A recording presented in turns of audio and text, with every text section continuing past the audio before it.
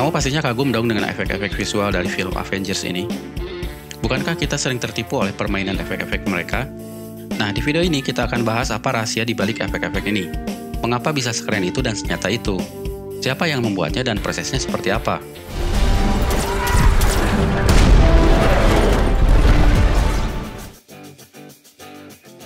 Asal kamu tahu, di film Avengers Endgame ada 2500 shot yang menggunakan efek visual, dari total 2700-an shot. Artinya 90%-nya adalah efek visual.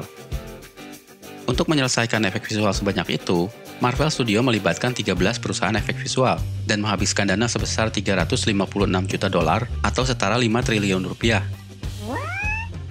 Kamu bisa melihat di akhir film siapa-siapa saja yang terlibat dalam pembuatan efek visual ini. Mereka semua tidak dalam satu perusahaan, tapi berada di perusahaan-perusahaan efek yang berbeda. Dua di antara perusahaan efek yang paling terkenal adalah Industrial Light and Magic, bermarkas di San Francisco, dan Weta Digital, yang bermarkas di New Zealand. Dua perusahaan ini mengambil porsi terbesar dari efek visual di Avengers Endgame. Efek-efek visual dari Avengers dipecah ke perusahaan-perusahaan ini. Misalnya part Hulk diserahkan pada ALM, sedangkan part Thanos diserahkan pada Digital Domain. Sekarang kita bahas sekilas seperti apa cara kerja mereka. Jangan kira membuat efek sekelas Hollywood itu cukup dengan kamu mempelajari salah satu software tiga dimensi atau animasi, lalu berharap bisa menghasilkan efek yang keren.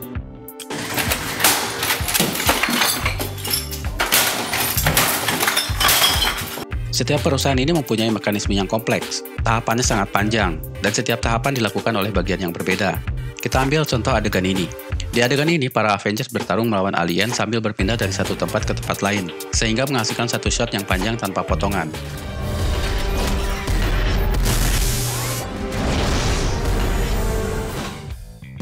Bagaimana cara mereka melakukannya? Yang mereka lakukan pertama adalah membuat animasi semacam ini, semacam storyboard namun dalam bentuk animasi. Sebagai gambaran bagaimana adegan ini harus dibuat. Proses ini disebut previsualisasi. Setelah itu mereka mulai merancang seperti apa syutingnya dan bagaimana nanti mereka menggabungkannya. Di sini mereka harus melakukan syuting green screen dengan empat setting lokasi yang berbeda. Karena aktor dan lokasinya harus menyambung satu dengan yang lainnya, mereka harus mengambil ribuan foto kota New York dari berbagai sudut dan merekonstruksinya dalam tiga dimensi. Dengan begitu, mereka bebas menempatkan setiap karakter dan mengarahkannya ke mana saja dalam kota virtual tersebut.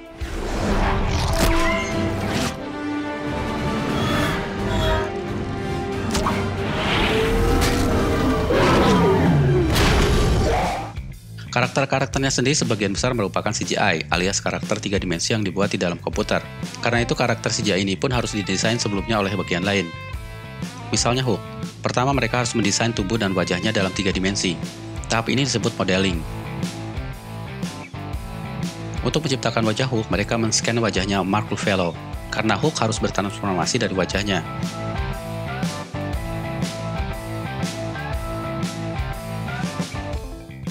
Struktur kuritnya kerutan-kerutan wajahnya dibuat sama, dan mereka mendesain semua kemungkinan ekspresi wajah dan gerak tubuhnya, sehingga ketika Hulk berlari, memukul, dan sebagainya akan tampak realistis. Setelah model karakter ini dibuat, barulah mereka masuk ke bagian animasi.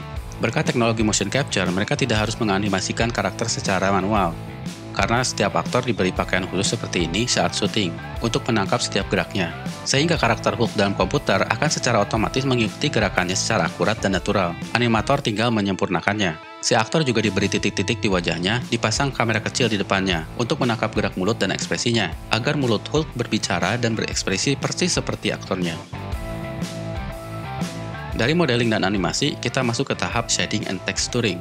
Di sini karakter CGI dihaluskan sehingga kulit harus tampak seperti kulit, logam harus tampak seperti logam, sampai luka-luka, goresan-goresan pun harus ditambahkan. Sehingga proses ini menentukan apakah karakter CGI ini tampak nyata atau tidak. Kita sekarang masuk ke simulasi. Bagian ini mengurus hal-hal yang tidak mungkin dilakukan secara manual. Seperti masifnya pasukan yang sedang berperang ini, tidak mungkin mengarahkan ribuan pemeran dan tidak mungkin membuat CGI-nya satu persatu. Mereka menggunakan yang namanya crowd simulation atau simulasi massa. Teknik ini mengubah puluhan karakter menjadi ratusan sampai ribuan dalam satu adegan dengan gerakan berbeda secara acak. Bagian ini juga mengurus soal ledakan, hancurnya gedung, dan sebagainya. Kita langsung masuk ke tahap akhir, yaitu compositing. Di sinilah semua elemen dari semua bagian dijahit menjadi satu shot yang utuh.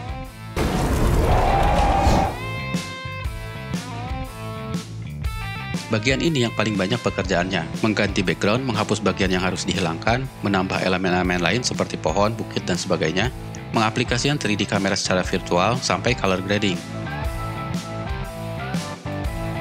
Pada akhirnya semuanya menyatu secara natural sehingga menjadi satu shot yang sama sekali berbeda dengan aslinya. Itulah sekilas tahapan-tahapan dalam pembuatan efek visual. Kalau masuk lebih dalam, prosesnya jauh lebih kompleks dari yang dijelaskan di sini. Semua tahapan ini dikenal dengan VFX pipeline. Ingat, setiap tahapan ini dilakukan oleh bagian yang berbeda, dan setiap bagian bisa berisi ratusan orang dengan software yang berbeda pula. Satu adegan bisa memakan proses berbulan-bulan. Sekarang, kamu sudah tahu betapa rumitnya proses pembuatan efek visual ini. Pertanyaannya, mampukah film Indonesia meniru efek visual sekeren Avengers ini? Pastinya mampu, karena faktanya banyak orang Indonesia yang bekerja di sana di salah satu bagiannya. Masalahnya kembali soal budget. Biayanya teramat besar. Karena itu, mari kita dorong perfilman Indonesia supaya makin keren.